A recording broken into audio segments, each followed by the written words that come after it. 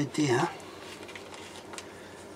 is to use the centre piece or the post of one of these pop rivets and do a back-to-back -back connector.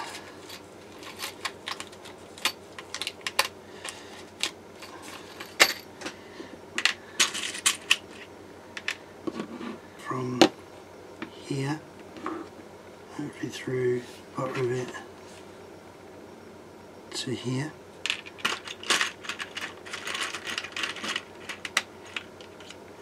And slide the case on. So I'm guessing we don't want it too close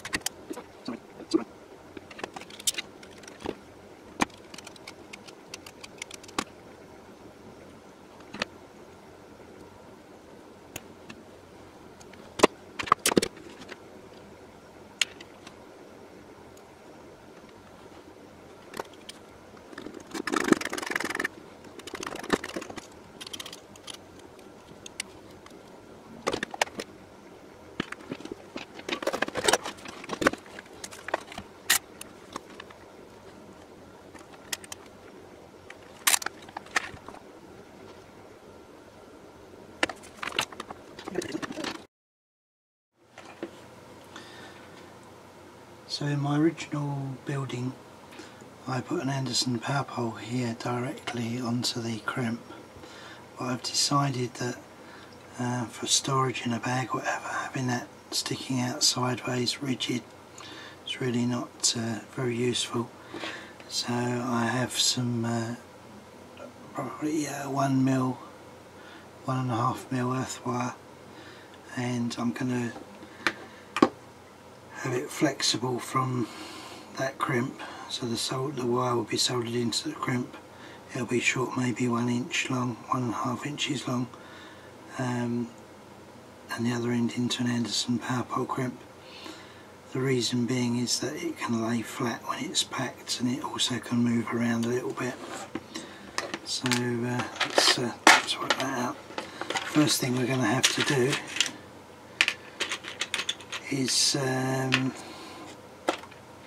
take the original one off so I'm just simply going to melt the solder and, and pull the crimp off. At least that's the plan anyway. Find somewhere holding it. Um, normally I use something sprung loaded. Right what can I use spring loaded? Bear with me a second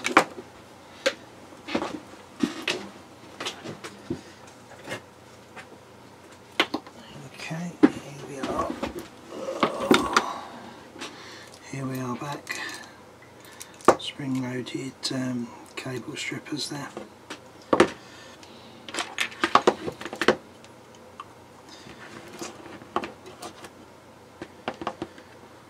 Oh, they're adequate uh, as normal. And I solder I put a magnified headset on.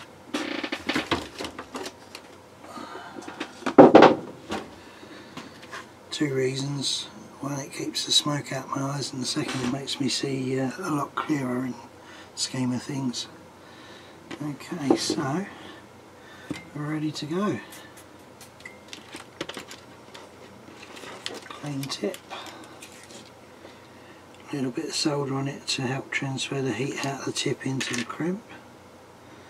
I'm hoping that uh, we'll be able to do this without actually removing the uh, the crimp from the side of the uh, side of the antenna. That's the first issue. It's fallen off. Yep.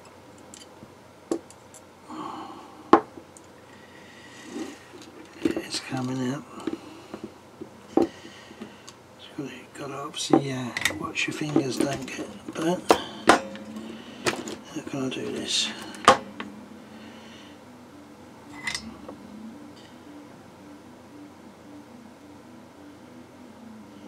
That soldier's melting down. There we go, she's off. So uh, as I don't have a tool for removing or extracting the pin out of there, it's garbage. Right, so uh, next thing is we're going to muck up a little piece of cable to go in there.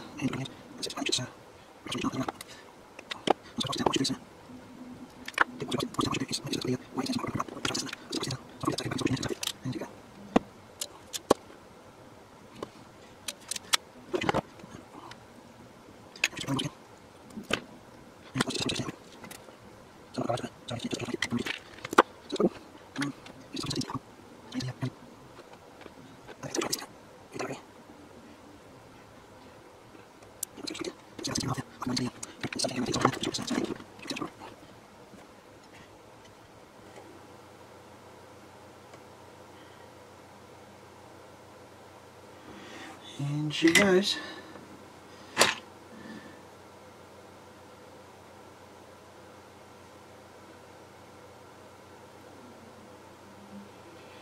So there we are, that's exactly what I want, some uh, movement there for it to lay flat, not, not be rigid out the side so it won't put any undue strain on here um, with movement.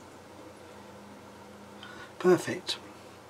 So I'll leave the soldering iron on just for a second so we can come back to that. Now we've worked out from uh, Esnek that uh, we need a total of 4.56 meters for for the radials and it's going to be two so the typical operation I'm kind of guesstimating will be on a surface like a picnic table a slight drop to the floor as it goes away. And uh, a radio a radial going out in one direction and a radial going in the exact opposite direction. And uh, if they're both 4.56 meters it's resonance with the vertical part of the antenna and the radiation pattern is omnidirectional. If you use only in one direction, it's not far off of omni, um, but not total. So uh, that's what we're going to do, 4.56 metres. So we need a measuring stick, I'm guessing. So excuse me a second.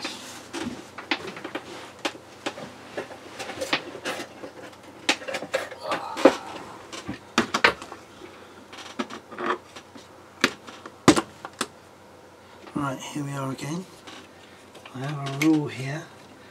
Typically what I do is uh, I put some kind of a mark along the bench surface to, to work out uh, what one metre is and then we'll go from there.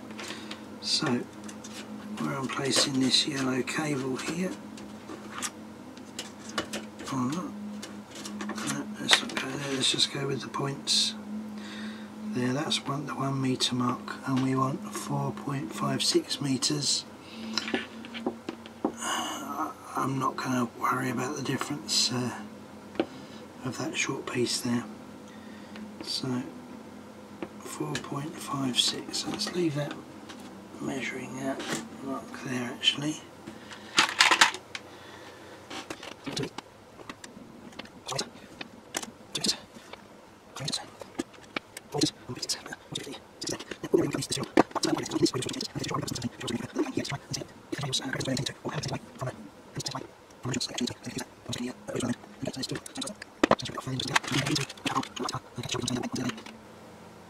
Right, let's see if we can uh, strip these.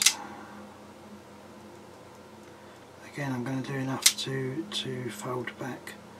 They're going to be twisted together. These are beautiful strippers by the way, vice grips. They uh, really are. These were good in their day, but they wear out. Right. So here these are cut nice. They're going to be uh, twisted slightly together. Just enough that I can fold them back and they stay in the one piece and then they fit more snugly into the crimp there. Right, so she's in. Same thing, I crimp her up.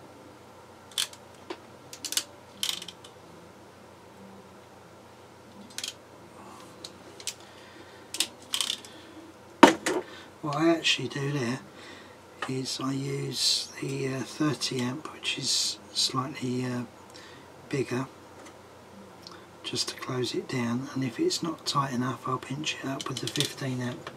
Not really sure if that's the correct thing to do. Uh, these say 30 amp.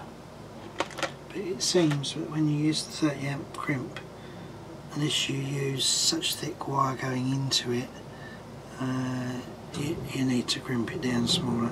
But that on the uh, 15 amp setting.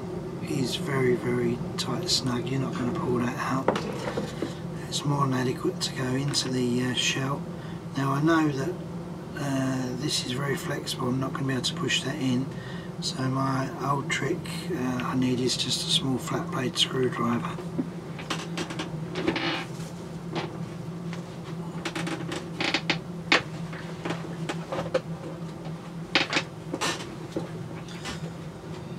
So this time, uh, I'm going to work out what way around that goes in there. Partially insert it or locate it. It's a little bit fiddly what we do here. And I place the uh, tip of the screwdriver onto the pin, onto the crimp pin and push down. And we should hear it go and click.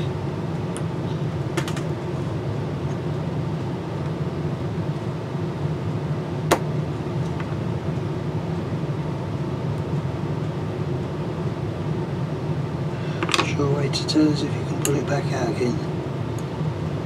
No I can't, so that's connected. So there we have it. So there's the um, the uh, Comet antenna HFJ 350M and interchangeable radials. These are for 20 metres. You literally just plug it in on the Anderson Powerpole there on yeah you want to change bands you have another set pre-prepared plug them in. And on the other band. What you could do um, is at the far end of this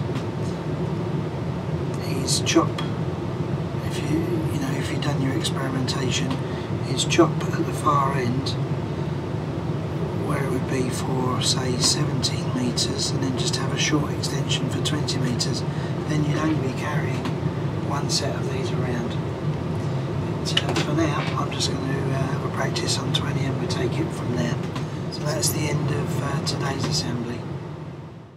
So this video, if you like it, our video, comment down below a thumbs up. Thanks for watching VA3SII. Bye.